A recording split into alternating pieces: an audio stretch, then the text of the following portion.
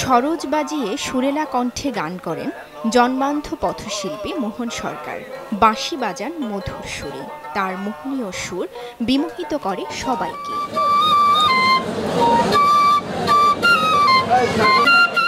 জামালপুরের নান্দিনা উপজেলার কুমারিয়া গ্রামে জন্ম তার।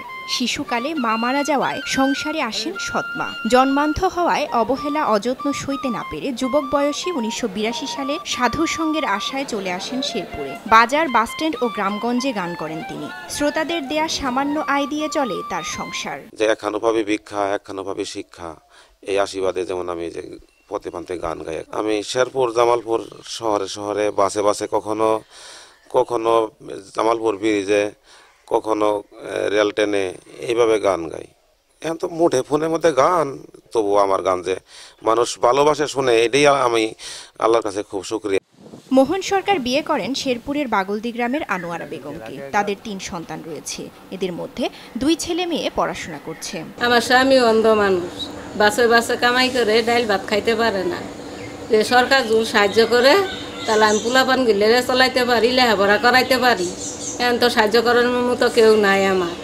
সংস্কৃতি বিষয়ক মন্ত্রণালয় থেকে মোহন সরকার বছরে একবার প্রতিবন্ধী শিল্পী ভাতা পেলেও তা অপ্রতুল। তার পরিবারকে সরকারি সহায়তার আশ্বাস দেন উপজেলা নির্বাহী কর্মকর্তা। উনি যদি ওনার সংসার চালানো এবং মানে ছেলে মেয়েদের যে লেখাপড়ার ব্যয় পার করার জন্য এমনকি একটি মানে ছেলে মেয়েদের একটি চাকরির জন্য উনি যদি সংশ্লিষ্ট কর্তৃপক্ষ যেমন জেলা প্রশাসন আছে এমনকি অন্যান্য যে সংশ্লিষ্ট কর্তৃপক্ষ আছেন উনি যদি আবেদন করেন সেই ক্ষেত্রে আমরা ওনার পক্ষ হয়ে আমরা ওনার ব্যাপারে সুপারিশ করতে পারব। উপজেলা প্রশাসনের পক্ষ থেকে তাকে সার্বিক সহযোগিতা যতটুকু সম্ভব দেওয়ার আশ্বাসও দিয়েছি।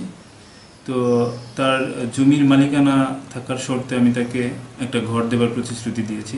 চেয়ারম্যান মহোদয়কে সুপারিশ করব ইনশাল্লাহ হয়ে যাবে এটা।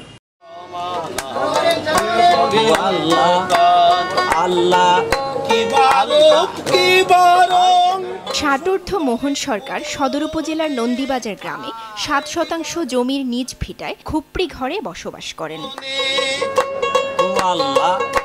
সময় সংবাদ শেরপুর।